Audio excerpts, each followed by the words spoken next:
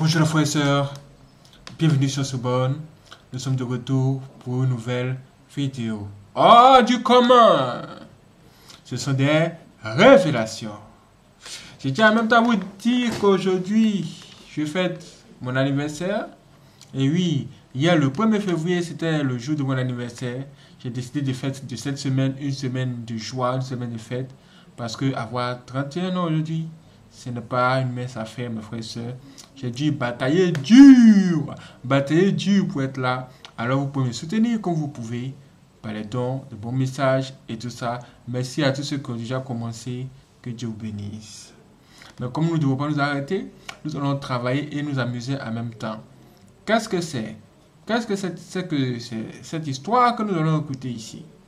En fait, il y a une jeune femme qui avait une camarade mais elle ne savait pas que cette camarade était mystique. Cette camarade qu'elle a fait le jeu chez elle transportait un fétiche dangereux. Mais elle, n'était pas au courant. Jusqu'à ce que, un jour, elle ait une vision.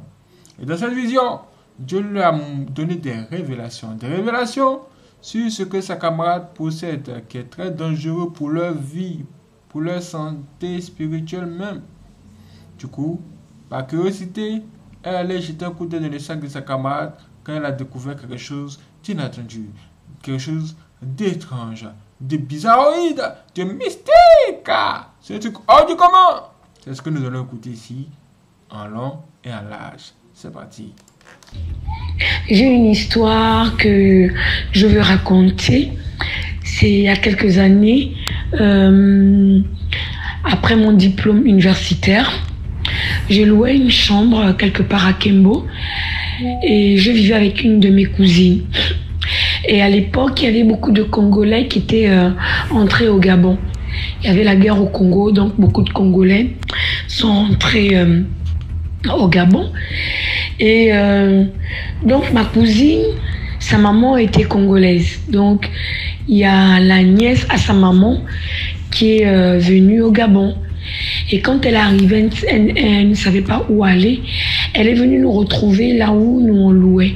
Donc, je louais une chambre de 20 000 francs avec ma cousine. On l'a accueillie chez nous. La go, quand elle arrive, c'est une go, euh, bon, elle n'est pas euh, aussi particulière que ça. Elle n'a pas, euh, elle n'est pas, de, elle n'est pas jolie. Elle n'a pas une forme qui, elle, n'avait pas un physique euh, vraiment attirant ou bandant. Elle était vraiment une fille vraiment ordinaire, une fille de tous les jours. Donc, euh, quand on arrivait, ma, cousine et moi, on avait, on avait nos petits business, tout ça. Après l'université, on n'avait pas de boulot. Donc, on se débrouillait tant bien que mal. On allait à la plage, on vendait nos, les canettes de jus, on vendait nos crêpes de bar en bar. On faisait un peu notre argent. Et la fin du mois, on payait notre chambre, on mangeait. En tout cas, on n'avait rien envié. Donc, on a go arrive et tout. Ma cousine, elle, elle a trouvé un petit business euh, au bar en face de la maison où on louait. Parce que c'était une maison. À l'intérieur, le monsieur a décidé de faire louer les chambres de la maison. Donc, on avait un salon commun et nous, on louait notre chambre à nous. Donc, la fille, elle était là, on l'a hébergée. Donc ma cousine, elle louait le, elle gérait le bar. Mais moi, comme les bars, euh, euh, je suis quelqu'un, j'aime bien l'église, tout ça. Donc pour moi, gérer le bar, pour moi, par rapport à ma foi, j'ai trouvé ça souvent dégradant. Donc j'ai toujours refusé de faire ce genre de petit boulot. Donc moi, je préfère me taper euh, mes crêpes, mes madeleines, aller prendre mes palettes de jus, et mes packs de jus et puis après je me balade à la plage, le long de la plage pour vendre euh, euh, tout ce que j'avais à faire. Je faisais un peu de l'alimentation de rue quoi. La go quand elle arrive et tout, on est là ensemble, on l'accueille bien bien bien. Et puis après, on a remarqué un truc. Moi, j'ai remarqué un truc. Parce que je suis quelqu'un, en fait, je pourrais dire, pas de mystique, mais j'ai un truc en moi qui en fait, quand j'arrive à un milieu, quand je rencontre une personne, quand la personne a un truc bizarre, c'est vraiment un truc qui sort du mystique, je le ressens sans que je le, sans que je, en fait, je sais pas, c'est naturel. Je le ressens, je le ressens. La gauche, d'abord, j'ai remarqué, j'ai fait remarquer à ma soeur que ta soeur, depuis qu'elle est arrivée, le matin, on se lève et tout. Elle ne se lavait jamais le matin. Elle avait une heure à elle quand elle se lève euh, pour prendre sa douche. Elle prenait sa douche tous les 17 heures. Donc 17 heures, elle se lave, elle se pomponne, elle se maquille, elle se parfume, elle s'habille, après elle, elle sort. Là encore, ça ne me regarde pas. Les blancs, eux, ils ne se lavent pas tous les jours. C'est une fois par jour. Là encore, ça ne m'interpellait pas. Mais ce qui était bizarre, c'est que moi, après, moi, je partais souvent le matin. J'allais à la plage, je vendais mes trucs. Après, je rentrais avec mes recettes. J'allais trouver ma soeur au bar. Elle me donnait sa participation pour l'alimentation parce qu'elle et moi, on faisait ça. Je finis de vendre, je la retrouve au bar. Je donne euh, euh, ma ration, elle donne sa ration pour qu'on fasse quelque chose de correct et de cool. Comme elle est en train de gérer le bar, c'est moi qui vais. Après, après ma vente, je vais au marché, je prends de quoi manger. Et puis, quand je, comme on n'avait pas le congélateur, donc on se nourrissait journalièrement. Donc, je vais au marché, je prends ce qu'il y a à manger. Elle et moi, on s'accorde sur le menu. J'achète ce que j'achète. Et puis après, je viens, je commence à faire la cuisine et tout, tout ça. Quand je finis, comme elle, elle, elle arrêtait le bar parfois à minuit, une heure du matin, comme c'est un quartier chaud, ça dépendait des, des, des, heures les clients partaient. Donc quand j'ai fini de, de, de préparer, je viens la rejoindre euh, au, au, au, maquis. Et là, on mange ensemble, on est là au bar, elle a ses pourboires, elle m'offre le jus. En tout cas, c'était comme ça notre vie en fait. Notre vie, moi j'ai cherché le travail, elle aussi se cherchait et tout. Donc, c'était comme ça. Mais la fille, là, quand elle est venue au bar, il y avait un truc que j'avais remarqué. Tous les hommes du bar s'intéressaient à elle. Je dis bien tous les hommes. Même les hommes qui venaient avec les copines ne s'intéressaient qu'à elle. Tous les gars étaient sur elle. Tous les gars voulaient d'elle. C'est comme ça, un jour, je dors la nuit. Je fais un songe vraiment un songe bizarre, un songe qui paraissait réel. En fait, ça dit un songe où je me suis seulement assoupie et mes yeux se sont ouverts et j'ai vu la fille entrer. Elle a fouillé son sac, elle a caché une bouteille dans, dans sa petite valise. Je me suis effrayée, je dis pourquoi j'ai vu ça? Donc le, jour, le, matin, avant d'aller à la plage, j'ai raconté cela à ma, cousine, ma petite soeur, parce que ma cousine en question, c'est une de mes petites soeurs de deux ans. J'ai raconté, j'ai dit, ah, regarde, regarde, regarde, regarde. Comme elle, elle croit à, à mes rêves, elle croit à mes visions. C'est comme ça qu'elle dit, non, la grande, va, quand tu rentres, on va faire un truc. Donc, quand je, je suis partie, quand je suis, je rentrée vers les 14h et tout, parce que j'avais liquidé tout mon stock, vers les 14h et tout, je suis venue au bar. C'est comme ça que ma cousine, elle a dit à, sa patronne que on a un problème qu'on doit régler. Or, quand on parle à la c'était déjà pomponné qu'elle sorte. On l'a laissé sortir. Elle est sortie. C'est comme ça que derrière Manon, nous, on décide de fouiller le petit sac que j'ai vu en vision. On a fouillé, fouillé. On a trouvé une bouteille. Une bouteille de l'eau de Cologne appelée Bien-être. À l'intérieur, il y avait des cafards morts. Ça dit que le cafard, les pieds regardaient le ciel, le, le haut de la bouteille. Les cafards étaient morts. Donc, ils étaient retournés. Il y avait des feuilles à l'intérieur. Il y avait des choses à l'intérieur. C'est comme ça que nous, comme on était des petites curieuses et tout, des petites emmerdeuses et tout, c'est comme ça qu'on a, j'ai décidé d'ouvrir en fait.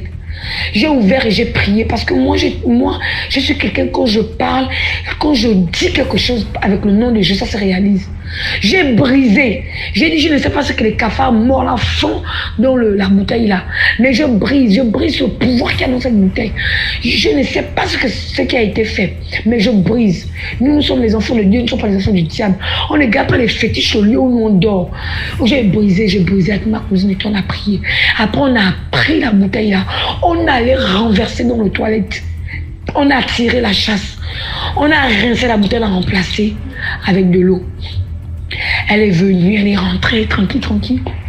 Mais non, le matin, le lendemain, ça dit que le lendemain matin maintenant, vers 17h, on est rentré tôt pour voir ce qu'elle allait faire. Elle a seulement crié, ah, vous m'avez tué. Vous m'avez tué. Pourquoi vous avez fait ça? Tout de suite, elle a su que c'était nous. Vous m'avez tué. Elle a dit non, on t'a tué comment? Faut nous dire, le truc là, c'est quoi? Comment tu viens, tu as les fétiches avec toi? On t'accueille chez nous, tu ne nous dis même pas ce que tu as. Tu viens comme ça avec les choses bizarres. C'est comme ça que la fille nous dit non quand elle a quitté le Congo. Sa grand-mère l'a fait le fétiche là. Que quand elle rentre au Gabon, les hommes s'intéressent à elle, qu'elle soit à l'abri du besoin. Et que comme ça, quand elle couche avec un homme, l'homme lui donne tout. Effectivement, c'est vrai, DMG. Cette fille-là, quand elle sortait, rentrait avec beaucoup d'argent. Les hommes voulaient être avec elle. Elle recevait toujours des enveloppes. Elle avait toujours tout. Mais depuis qu'on a découvert son secret, elle est tombée au bas Aucun homme ne la regardait. Elle est redevenue bizarre, bizarre, bizarre, bizarre, bizarre, bizarre. Et ma cousine, on a décidé de la mettre dehors. On a dit non, non, non, tu n'es pas une fille bien.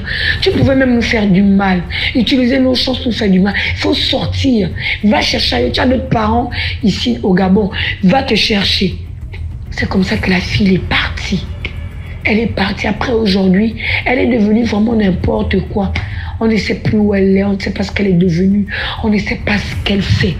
Mais vraiment, on l'a vraiment mis à la porte. C'était ça mon histoire. Et merci, j'ai encore d'autres histoires. Waouh, vous avez entendu ça? C'est terrible. Qu'auriez-vous fait à sa place? J'aimerais bien savoir. Nous allons écouter encore une autre histoire. Soyez prêts ça risque de vous étonner. J'aimerais vraiment euh, conter une histoire à moi. Euh, bref, j'ai 25 ans et je suis un jeune entrepreneur. Je fais dans l'audiovisuel. Euh, l'histoire que je vais raconter, je vais donner plus de détails puisque les personnes concernées ne sont plus en vie en fait. Donc, ce qui va faire en sorte que peu importe. Et moi, je n'ai pas peur qu'on m'identifie parce que je ne vois pas en quoi ça va déranger. je suis j'ai créé une entreprise tout juste après euh, mon diplôme d'ingénieur, parce que je suis ingénieur en génie civil. Et j'ai totalement viré pour faire euh, dans l'audiovisuel, les services d'audiovisuel tels que photographie et autres en fait. Et j'ai loué le bureau, c'était pas facile, mais j'ai pu, par la grâce de Dieu, j'ai loué le bureau à, à Douala et à Yaoundé. Et moi, principalement, je reste à Yaoundé. Là, il y a de cela deux ans, oui. J'avais fait la rencontre. Il y avait une cliente, une jeune fille Bamoun. Elle avait maximum 24 ans. Son père était juge de récession à Bonandio. La jeune femme m'avait contacté euh, via WhatsApp, en fait. Et m'avait envoyé un message un soir. Elle m'a dit que j'ai eu le, votre numéro par l'intermédiaire d'une amie. Elle m'avait pas donné le nom d'une amie. Et vous voyez un peu comment fait dans le showbiz, en fait quand un client t'écrit, tu ne peux pas lui demander que bon, j'ai appelé mon numéro chez qui, parce qu'on sait que les, mes numéros sont sur les réseaux sociaux, c'est partout en fait. Donc je n'ai pas pris la peine de lui demander que euh, par quel ami exactement? Euh, la femme, la jeune fille en question, elle faisait dans les dans les prêts à porter. Elle avait une petite entreprise qui confectionnait les vêtements de marque, bon, de sa marque en fait. Et moi, en tant que photographe, j'étais chargé de filmer ces mannequins. J'ai travaillé avec la fille là pendant près de, je peux dire, c'était euh, moyennement quatre mois. Et c'était vraiment une cliente VIP à moi. Ça veut dire que, vu que j'étais dans les débuts, euh, je n'avais pas trop de clients et j'avais les clients qui ne payaient pas trop. Parce que moi aussi, j'apprenais pour dire que je n'ai pas appris ce métier à l'école. Donc, je l'ai appris, je suis un autodidacte sur ce côté, vu que je suis un ingénieur en génie civil qui n'a rien à voir avec la photographie. Du coup, la femme venait, parce que mes bureaux sont à l'Opom, et la femme venait de temps en temps à l'Opom. Jusqu'au point où je te, je vous, je te dis que DMG, elle était plus qu'une cliente à moi. Ça veut dire qu'elle venait chez moi à tout moment. Il y avait deux fois même, elle avait une grosse Prado. Je partais chez elle, je filmais chez mannequin chez elle. À Bonhomme, ça dit, je, elle venait chez moi. C'était déjà que même si elle est de passage, elle s'arrête pour me dire qu'elle est là. Et chaque fois qu'elle venait chuter, elle apportait toujours des trucs que bon. Moi, j'étais là. J'étais un jeune, je voyais que bon, voilà peut-être la vie qui me sourit comme ça, voilà un client.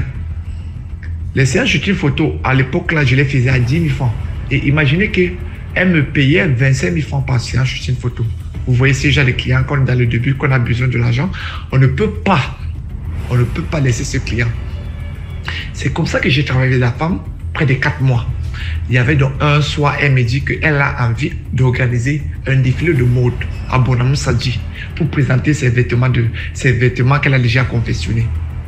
Maintenant, on avait, on avait parlé, je lui ai demandé 300 000 francs pour couvrir euh, son défilé en photo et vidéo.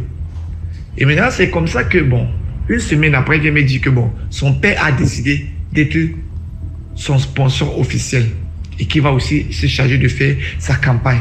C'est comme ça que DMG, on se quitte, on quitte d'une seule personne, on se retrouve à 10 participants déjà.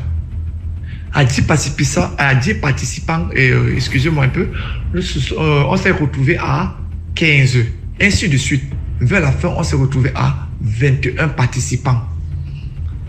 DMG, je n'arrivais pas à quoi. Bon, maintenant, il y avait un problème. C'est que moi, en tant que jeune, euh, j'avais peur de, l'argent à cette époque-là. J'avais vraiment un peu peur de l'argent. Je me suis dit que bon, au départ, c'était 300 000 pour elle seule. Et maintenant, comme il y a 21 participants, je vais même baisser ça par deux. Divisé par deux, j'aurais dit 150 000, francs par personne. Parce que moi, je savais que même avec 100 000 par personne, vu le nombre, je vais couvrir tout ça et je vais toujours mon bénéfice. Même si j'ai mon bénéfice de 500 000 francs, ça va beaucoup me relancer. C'est là où la jeune femme me fait comprendre que non, que la majorité des gens qui, participent, en fait, sont des gens qui sont déjà connus et nombreux vivent déjà à l'étranger, en France, partout en fait. Et ils ont déjà beaucoup d'argent. DMG, au moment là, je n'avais pas encore les papiers de l'entreprise. Je vivais, je faisais encore un peu dans le jonglage, comme on peut dire. Mais à ce moment-là, euh, vu qu'il y avait déjà plusieurs participants, il y avait déjà les entreprises qui étaient connues, il a fallu que je fasse des papiers. Là, là, là, comme on dit sur au Cameroun, c'est là où j'ai confirmé la vitesse du pays également, parce que je me suis procuré des documents, et les faux et les vrais, parce qu'il fallait les documents là, là, là, pour qu'on puisse me valider. Parce que d'après, il y avait aussi, parmi ces participants, il y avait d'autres qui avaient déjà leur photographe. Mais moi, j'avais l'avantage parce que, au fait, moi, j'étais, je venais chez elle. Et c'était elle qui était l'organisatrice, en fait. Donc j'avais tout, j'avais les 90% par rapport aux autres. C'est comme ça que chaque réunion, on m'appelait, je parlais dans les réunions, on me demandait de présenter le, comment je vais, comment je vais, comment je vais, en fait, le plan, comment je vais, je vais couvrir l'événement, en fait, comment je, et comment ça va se passer, l'équipe que j'ai mis sur place, le nombre de personnes, en fait, le délai de livraison. C'est comme ça, y compris les papiers de mon entreprise. DMG, comme je te dis, la fille là, m'a fait m'a convaincu que je devais mettre à 350 000 francs par personne. Et ça devait donner 8 millions et poussière. Maintenant, je lui ai dit que, étant très naïf quand j'étais, c'est ce que je crois que je constatais après que j'étais très naïf, en fait. Je lui ai dit que bon, vu donc que c'est toi qui, t'es chargé de tout, sur les 8 millions, je vais te donner 2 millions. 5 millions, moi, je vais me charger de couvrir. Et non seulement ça, tu, toi, tu ne vas pas payer, tu ne payes pas tes services. Veut que je constate plutôt que je, je maintiens qu'on est à 20 personnes, 20 participants en fait. C'est comme ça, elle me dit non, elle a besoin de me lancer. Elle a vu que je suis un jeune très ambitieux, j'ai l'étoile et je connais vraiment. Et elle veut vraiment qu'on travaille la longue, puisque ce contrat, après ce défilé, et parce que le défilé devait en fait se dérouler un mois après. Après ce défilé, on va signer un contrat. Bon, je vais commencer à travailler maintenant ensemble et je serai payé par mois. Bon, moi, elle m'a fait vendre le rêve.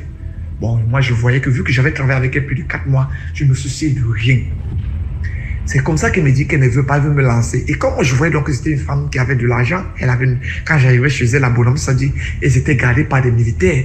Il y avait des grosses voitures garées partout. Je te dis que chaque fois que je partais là-bas, et ils étaient pas si nombreux. Ils étaient dans une famille de quatre personnes, trois garçons et elle était la seule fille, en fait l'unique fille. Et son grand frère était déjà grand, elle était aux États-Unis. Et les derniers, les autres petits frères étaient les plus petits. Donc, ils étaient dans le tranche d'âge de, de 12 ans. L'autre avait 12, l'autre avait peut-être 10 ans comme ça. Ils étaient encore petits. Je partais chez eux à tout moment. À tout moment, comme je vous dis. C'est comme ça, DMG. Euh, comme je vous dis, quand Dieu ne veut pas quelque chose, tout était calé. Les 8 millions, tout ça, bon, on avec tout ce qu'il fallait faire, les démarches et tout jusqu'au point où on avait fixé une date, une première date quand je devais recevoir la première somme d'argent. Je ne sais pas par comment. Mais elle est venue me dire le soir là que bon, tous les participants n'ont pas encore fait les dépôts. Du coup, ils ont renvoyé ça pour la semaine prochaine. La réunion devait avoir lieu à la veille et le lendemain, je devais aller recevoir de l'argent. Pendant cette période-là, ma mère était gravement malade. Elle est toujours malade, mais au moment là, ça ne l'est pas vraiment. Elle était à l'hôpital, ça n'allait pas, on ne voyait rien. Jusqu'à on lui a conseillé qu'elle parte un peu se, se faire soigner à l'indigène. C'est comme ça qu'elle part maintenant chez un marabout. Bon, et comme les mamans en Afrique, quand elles partent souvent, elles essaient de voir que, bon, essayer aussi de regarder mes enfants, et le nom de ses enfants.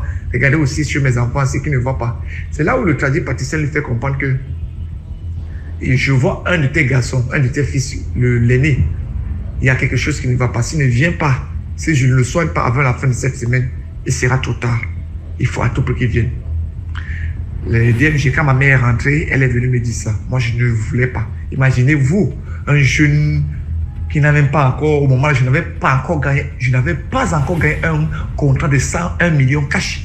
Mais je me dis, déjà un contrat de 8 millions et que je devais signer la semaine prochaine. Et je devais signer, euh, ce n'était plus la semaine prochaine, c'était déjà à moins de 4 jours comme ça. Vous voyez un peu.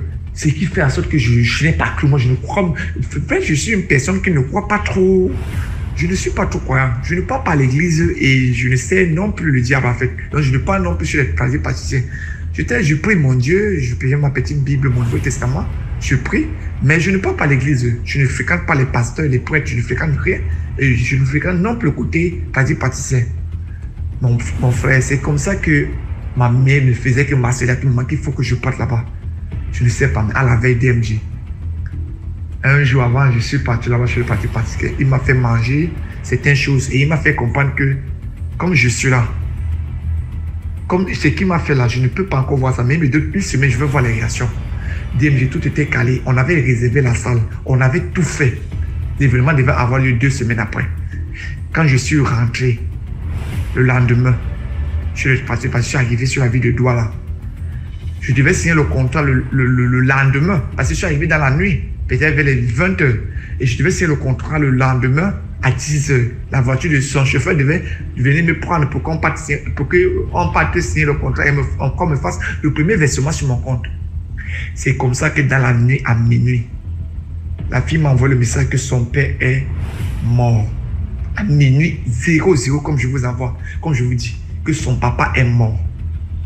Et bien, je vous dis que depuis ce jour-là, je voyais que sur les statuts de la fille, comme elle était musulmane, c'était une fille Bamou, euh, je lui ai même proposé que je devais aller l'accompagner. Elle ne voulait plus me voir. La fille qui est venue tous les jours chez moi, je peux te dire que tous les jours, elle venait chez moi, elle garait sa grosse voiture. Tout le monde, jusqu'au point, les gens croyaient même que c'était une copine à moi, puisqu'elle était aussi une jeune petite fille comme moi. Je vous dis que la fille, là, je suis devenu amère à ses yeux. Elle ne voulait plus entendre parler de moi. Elle ne voulait plus. Elle ne voulait plus rien. Juste pour chaque fois que je lui disais que, mais à propos de la cérémonie, ça va se passer comment? La petite fille m'a bloqué. Elle m'a dit que je ne dois plus jamais lui parler de cela. Mais c'est là où je n'ai pas compris. Je me suis dit que ça, c'est quoi ça? Un truc qui devait, je devais signer le contrat le lendemain, la personne meurt aujourd'hui. Si c'était vraiment réel, c'est que les clients, tous les participants avaient déjà débloqué l'argent. La salle était déjà réservée. J'avais vu la salle, j'étais même à la salle. Tout déjà, on avait déjà réservé tous les autres prestataires. Comment se fait-il que aujourd'hui, jusqu'au ce jour-là, et comme vous dites aussi que la petite fille là est morte le 31 décembre 2021, comment j'ai su qu'elle est morte? C'est que comme j'avais les contacts de ces mannequins, j'avais vu un de ces mannequins qui avait mis le 31 décembre, le 1er décembre, il avait posté sa photo sur son statut WhatsApp et avait mis Rest in Peace. Je lui ai demandé que, mais qu'est-ce qui s'est passé? Elle est morte, mais que non, elle est morte cette nuit. Elle n'a pas vu le 1er janvier 2022. Vous voyez que c'est comme ça que j'ai vraiment été sauvé, si je peux dire. Mais moi, je voulais donner un conseil pour les jeunes entrepreneurs. Euh, depuis ce jour-là, je me méfie vraiment. J'ai tellement d'histoires à raconter que j'ai déjà vécu. Parce que ça fait trois ans que je fais dans ce métier. Et comme je fais dans le showbiz, je ne vous mens pas que j'ai des clients qui m'ont vraiment, qui m'ont tout, ils ont vraiment tout fait pour m'envoyer au-delà, comme on dit. C'est depuis ce jour-là, je me méfie vraiment quand un client m'apporte un contrat qui est un peu au-delà, qui est un contrat qui est dans les millions. Parce que je ne vous mens pas. Le monde du showbiz, ça ne blague pas ici et entre, quand on est jeune entrepreneur, les gens qui viennent sous forme de clients là, parfois, ils veulent souvent nous bluffer pour pouvoir nous traîner dans des histoires. Parce que la fille là, si je signais ce contrat, c'est que je ne serais plus en vie aujourd'hui. Donc, c'est pour cela que depuis que j'ai connu votre chaîne, je vous suis tout le temps. Toutes les vidéos que vous postez, je, partage. En fait, j'ai tellement d'histoires. Peut-être que j'aurai aussi la chance de vous raconter plus d'autres histoires. C'est un truc hors du commun. Vous avez entendu ce qu'elle a dit? Hmm. Vraiment, mes frères et sœurs, nous sommes parmi des loups, des brebis parmi des loups. Méfiez-vous. Nous allons maintenant écouter une autre histoire racontée par une autre jeune femme. C'est parti. Bon, ce matin, je vais euh, raconter, je vais vous raconter mon histoire à moi, histoire vécue. Quand j'étais plus jeune, à l'époque, euh, déjà je suis, je me prénomme Génista. Je suis au Cameroun. Déjà, euh, quand j'étais plus jeune, quand j'étais chez mon père, parce que mes parents sont séparés, à, à l'âge, je pense, de 15 ans, j'ai commencé à voir des choses bizarres. Je ne voyais pas, mais quand je dormais, je sentais que quelqu'un m'attache. Je ne parvenais pas à bouger, je ne parvenais à rien faire. Bon, c'est un truc que j'ai négligé. Mais ça m'arrivait, ça me faisait un genre, mais j'ai laissé. Quelque temps après, je suis allée vivre avec ma maman. C'est de là, les choses ont vraiment empiré parce que quand je dormais, je sentais la présence de quelqu'un d'autre. Parfois, la personne m'appuyait, la personne m'attachait, je ne parvenais pas à, à parler. Parfois, c'était les couches de nuit. À un certain moment, j'avais déjà souffert. Quand j'en ai parlé à ma maman, elle m'a amené chez un, un, un traitant. Lui, je suis allée là-bas, ça n'a rien donné. Après, j'ai commencé à avoir un mal de ventre bizarre. Quand j'ai eu mal au ventre, j'avais constamment mal au ventre. Ma mère m'a amené chez un autre traitant. Le traitant a fait ce qu'il a fait. Il a dit ce qu'il a dit. Mais après, ça ne donnait toujours pas. Parfois, lorsque je me couchais en journée comme ça, là, si je fais les, aussi, je me couche en journée comme ça, là, dès que le sommeil me prend un peu, on vient m'attacher. Je ne peux pas bouger. Parfois, sans les couches de nuit, je ne peux rien faire. Un jour, je suis partie me coucher. Il était peut-être midi, et nous avions peut-être de midi 13 heures. Je crois que c'était pendant les vacances. Lorsque je me couche, je sens comment, quand le sommeil veut me prendre, je sens déjà comment quelqu'un vient m'attacher. Et quand j'ouvre les yeux à travers la fenêtre, je vois, je vois quelqu'un. Je reconnais le visage de la personne. La personne était nue, noire et me regardait méchamment. Quand j'ai pu me lever, j'aime pas trop considérer. J'étais encore petite. Et parfois, quand je restais comme ça, j'entends, on m'appelle, on m'appelle je sors. En journée, je ne vois personne. Quand c'était déjà un peu grave, je suis, puisque l'autre traitant n'avait pas pu m'aider, je suis allée, à l'époque j'étais catholique, je suis allée à, l'église catholique. J'ai vu le prêtre, j'ai expliqué mon problème. Il m'a dit, bon, ce que tu as fait, viens avec le sel et 5 litres d'eau. Je suis arrivée, il a pris le sel, il l'a mis dans l'eau. Il a dit, le sel, tu verses autour de la maison et l'eau, tu bois. Vous croyez que ça a changé quelque chose? Ça n'a rien changé. J'étais toujours dans les mêmes souffrances. Et quand je dormais, je rêvais toujours que je suis devenue folle. Et j'avais parfois des hallucinations. Je reste parfois comme ça, je suis en train de causer avec des gens. J'ai l'impression que j'ai été dans une vie passée et que je causais comme ça avec des gens dans le passé. Je dis, j'avais, je, je ne sais même pas. J'avais des choses bizarres qui m'arrivaient. Tellement j'avais déjà vu ma maman dépenser que quand je souffrais même, je lui disais plus rien. Et j'oubliais le jour où je suis passée sur le deuxième traitant. Je reviens la nuit, je veux dormir, j'ai peur. J'appelle ma mère que ma pardon vient dormir avec moi. Elle vient se coucher sur, mon lit, nous dormons. L'esprit, la personne revient. La personne dit que tu, ne, tu crois que je ne connais pas là où tu étais. Je connais là où tu étais. La personne m'a tapé. L'esprit là m'a tapé. Et ma mère était là, ma mère ne comprenait rien, elle était endormie. Je dis, je gémissais. Je gémissais. Et parfois, quand je voulais saigner comme ça, le bas-ventre me fait mal. Ma souffrance était tellement énorme, je ne parlais plus à ma mère parce que je, je n'avais plus, je ne voulais plus, je ne voulais plus qu'elle dépense. Ma souffrance était énorme. Je gardais seulement. Je ne pouvais pas passer une bonne nuit. Parce que dans la nuit, les esprits me tourmenter. Quand je dors, je sens qu'il y a quelqu'un à côté de moi. Pourtant, je suis sur mon lit seul. Les couches de nuit, parfois, me tourmentent. On m'appuie. On veut m'asphyxier. La souffrance était énorme. J'ai mon voisin qui me donnait, qui est, qui est chrétien, il me donnait la parole de Dieu. Je ne m'intéressais pas. Un jour, tellement j'avais souffert, j'ai pris le courage je lui explique, en fait, voici mon problème. Je lui ai juste expliqué un petit pan. Il m'a dit que ce sont les esprits qui me suivent. Et que tant que je n'abandonne pas la vie que je mène, Dieu ne peut pas me venir au secours. Quand je me suis engagée, puisque tous les recours, j'avais eu recours à plusieurs voix, ça ne m'a pas aidé. Je donc dit ok, je m'en vais chercher mon créateur.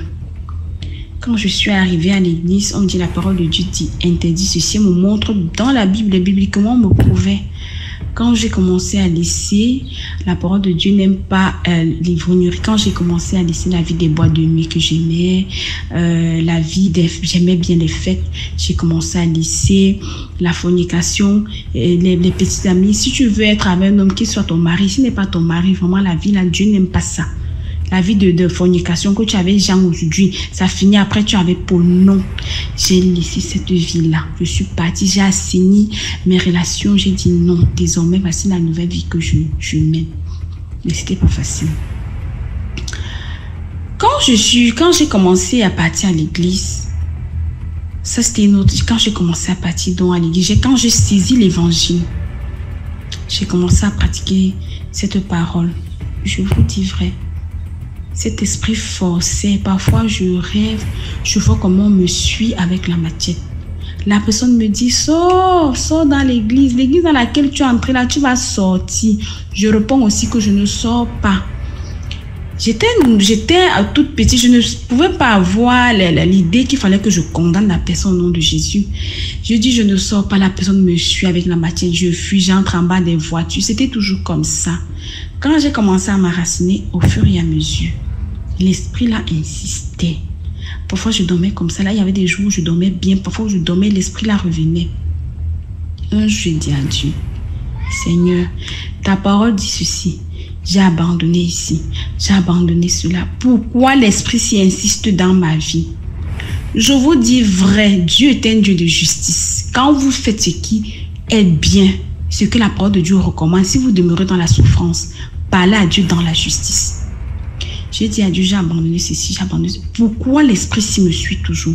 Je vous dis, c'était, j'étais partie à une soirée d'édification. La même nuit quand je suis rentrée. Quand je suis rentrée la même nuit là, j'ai fait un songe comment? L'esprit là est revenu.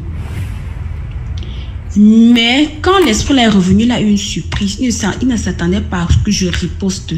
Quand elle est revenue dans le songe, les habits avec euh, lesquels je m'étais couché, je me suis, je me suis livrée dans le songe. Sur ma table, parce qu'il y avait ma table d'études, j'ai pris, j'ai trouvé, j'ai vu un couteau, j'ai pris le couteau.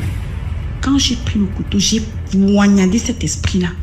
Quand je l'ai poignardé, c'est ce jour-là que j'ai compris que les esprits, les sorciers n'ont pas, ils n'ont rien dans leur ventre un liquide noir a commencé à couler, comme je l'ai poignardé là. Je vous dis jusqu'aujourd'hui, il est parti. Jusqu'aujourd'hui. Quand je me couche aujourd'hui là, je dors, je suis en paix. Je n'ai pas eu besoin de prières de délivrance. Je n'ai pas eu besoin de séances de prière. Non. La parole de Dieu est vraie. Si tu pratiques la parole de Dieu, la parole de Dieu va t'aider.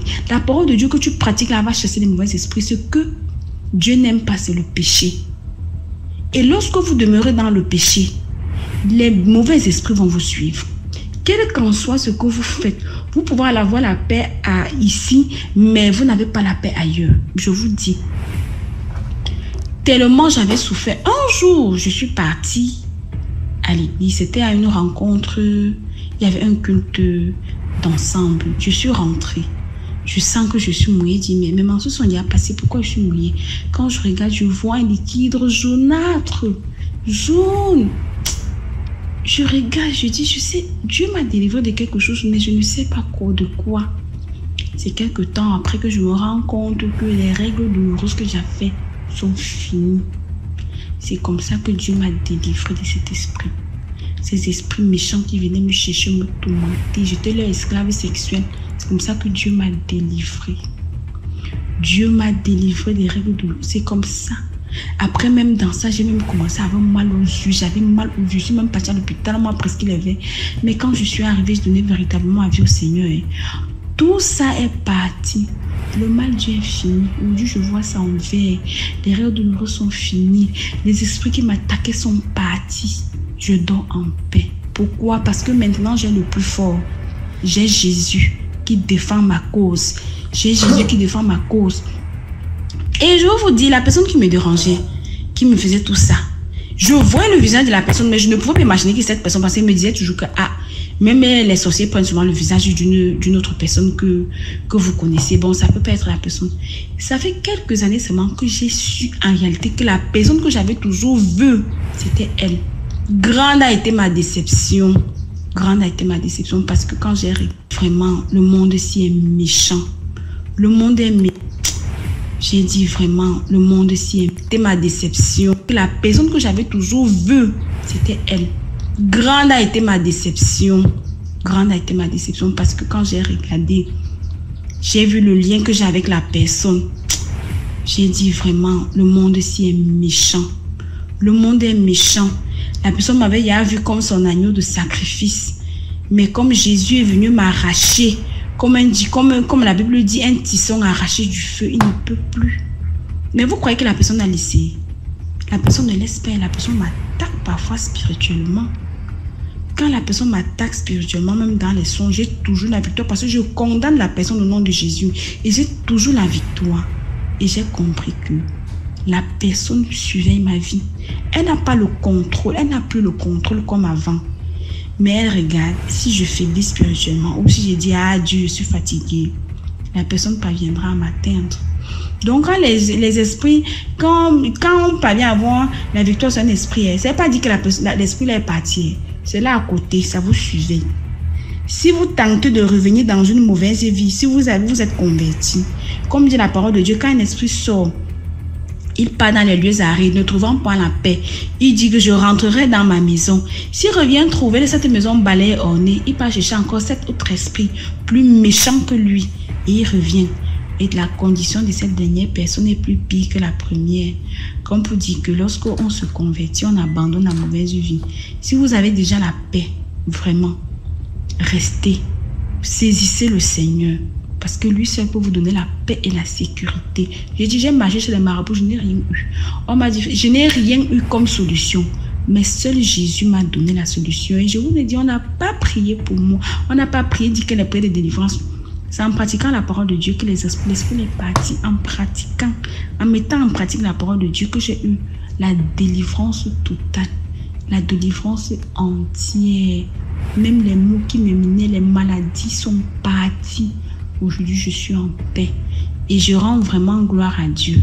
Comme pour vous dire, quand vous avez une souffrance, ne partez pas à gauche et à droite. Rentrez vers votre Créateur. Cherchez-le sincèrement et il vous viendra au secours. Waouh. Frères et sœurs, ce témoignage est vrai. Ce témoignage est puissant. Vous devez le partager. Et retenir cela. Je vous donne maintenant rendez-vous pour la suite de ce témoignage audio commun. La deuxième partie. Abonnez-vous et restez connectés sur Nyans Reborn.